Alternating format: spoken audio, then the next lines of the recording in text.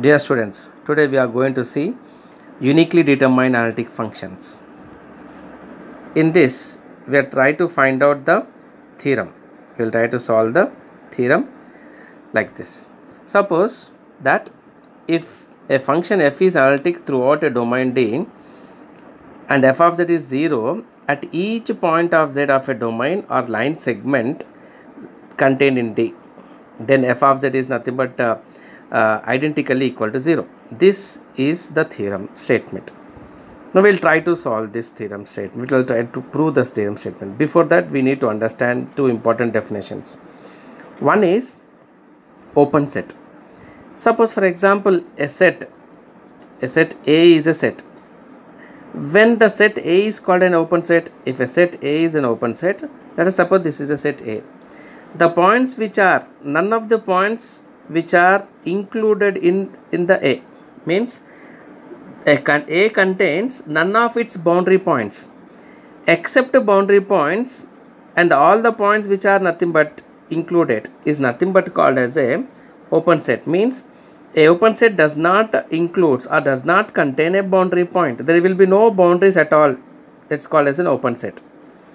And there is a points which are the point these are the points which are there in this now the points which are there if i join the points as a line segment means uh, the points which has been joined is called as a polygonal arc or polygonal uh, uh, pairs uh, you know polygonal arc. Means the points the pairs which has been joined with a polygonal arc which lie entirely in the region A then the set A is called connected set. Okay so therefore the set A is open and the connected. Means open means which doesn't have the boundary points. Connected means it should have a polygonal arc. Now this is a polygonal arc which is there. So this is called as an open connected set. This is how the definition how the definition is linked to us that we'll see.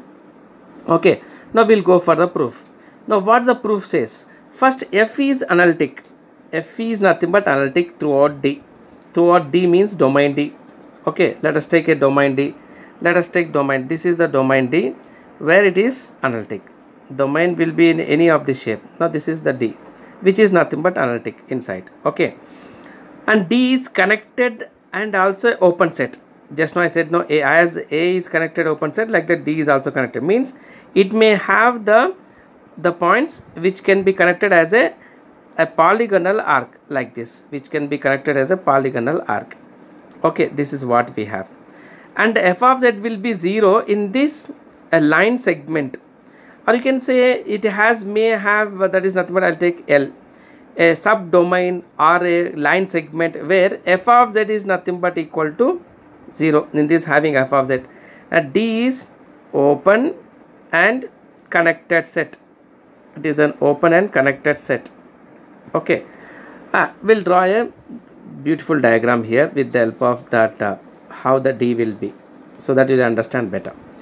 Now i have taken like this the points which are nothing but in the form of like this. This is z naught this is z1 this is z2 z3 and so on. This zn minus 1 this is zn okay this is the polygonal arc to this points. Okay this is the polygonal arc. Okay z naught and this all. Okay there is a there is a distance. The distance between the points is nothing but d. Okay now you must understand one thing that this is nothing but l. Distance between the points of the line segment to the boundary of the d which is open connected should be should be less than. Means or else you can say the d is the shortest distance from the point l. This is the shortest distance from the point l to the boundary of the d.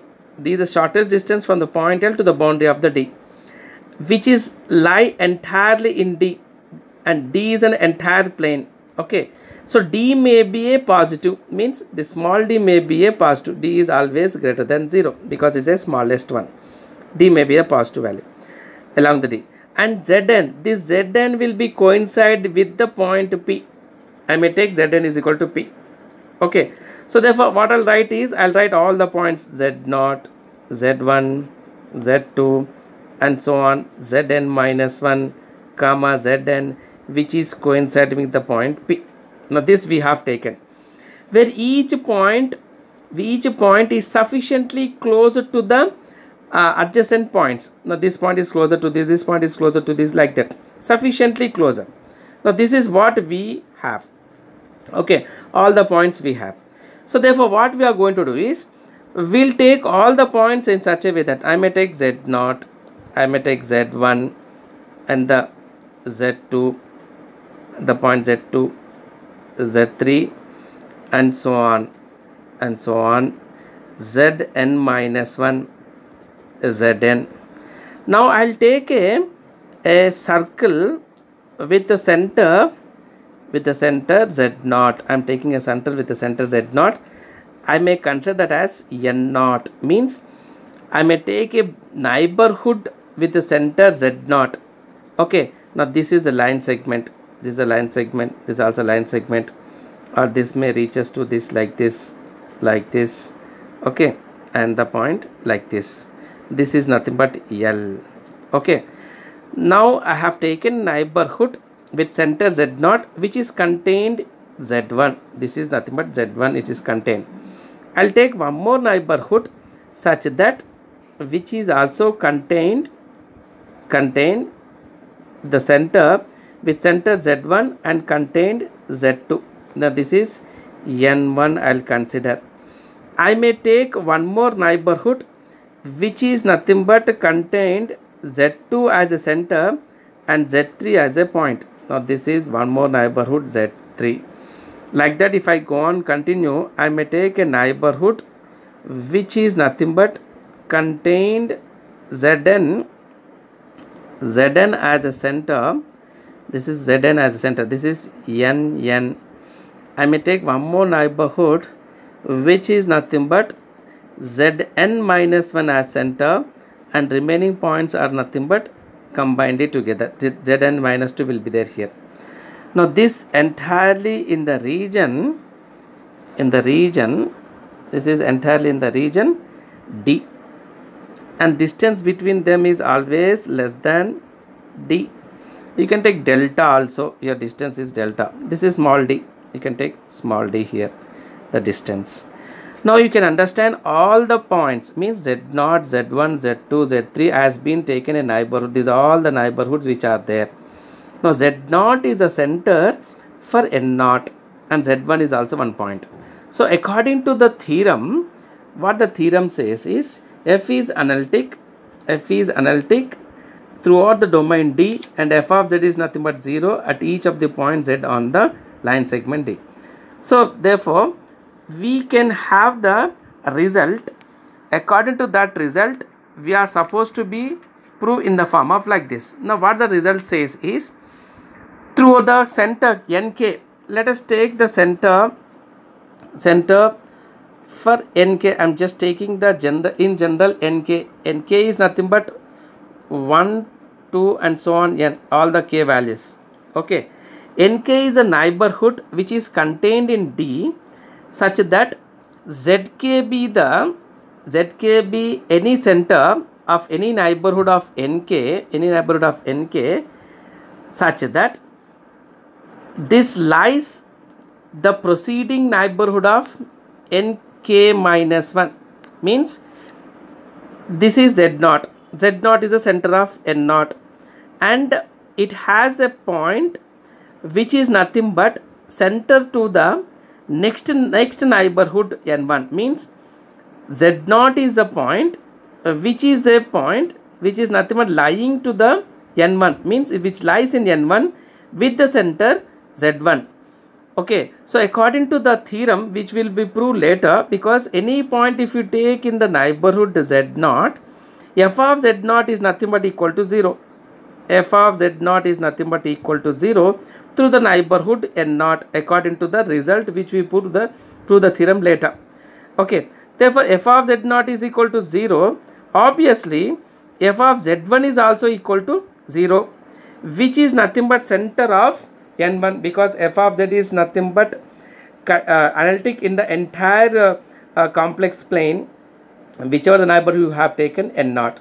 So z1 is also nothing but analytic means f of z1 is also analytic to the neighborhood n1 so proceeding in this way i can say that f is analytic f is analytic i can say that f is analytic at the neighborhood n naught and therefore I can write that f of z is equal to identically 0 because f of z naught is nothing but 0 and f is analytic in n naught.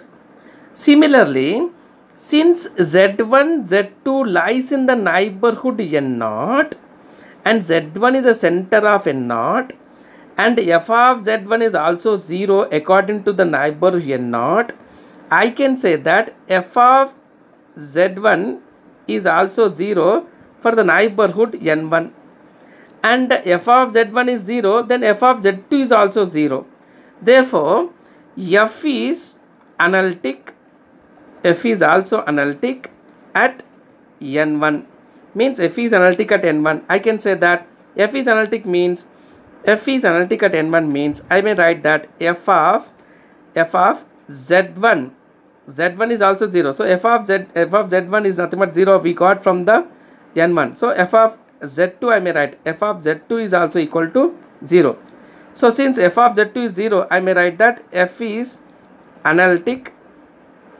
f is analytic analytic at n2 f is analytic at n2 means when f of z naught is equal to 0 f is analytic in n naught. Now similarly f of z1 is also nothing but 0 because in uh, in n naught. So it may goes that it is also analytic. So therefore n uh, in n1 z1 and z2 are the two points. But in n naught z0 and z1 are the two points so if this is analytic this also goes to analytic. This becomes the center of this one. So this lies in the boundary of this one. Boundary of this one. So z1 is nothing but a center of n1 z1 is also analytic. When z1 is analytic z2 is also analytic. F of z2 is also analytic. So f of z2 is nothing but neighbor f of z2 is nothing but is a center of n2 when f of z2 is analytic according to the neighbor of z1 then f is analytic in n2 and so on we may get that f of zn minus 1 is nothing but analytic. In in the neighborhood n n minus 1 therefore and f of z1 is uh, since it is analytic because this is a it's a point which is lies in the n, n, n therefore zn is also analytic. So therefore i can say that the entire thing f of z is nothing but analytic means f of z is nothing but identically equal to 0 this is the just a formal explanation how the theorem can be taken. Let us go in a in a theoretical manner how we can prove this one. In a theoretical manner how we can prove. So f of z is identically 0 so what we'll do is we'll take in a rough manner that since it is analytic everything is nothing but analytic i may take that two functions f of z and g of z such that these two are analytic so i may write that f of z minus g of z is also analytic to prove the uniqueness so f of z minus g of z is also analytic so i may take the difference this one as some capital F of z. Okay, if capital F of z if I have taken, since these two are analytic, these two are analytic, then I can say that F of z is also analytic. F of z is also analytic. When F of z is analytic, I can say that F of z is nothing but equal to 0, identically 0. When this is 0, means this term is 0, then I can say the difference between these two. Means f of z minus g of z is nothing but equal to 0. This may be equal to 0 therefore i can write that f of z is nothing but equal to g of z. Therefore they are uniquely determined. These both are equal. They are nothing but uniquely determined. This is how the explanation of the theorem. We'll see a direct proof in the next uh, video. Thank you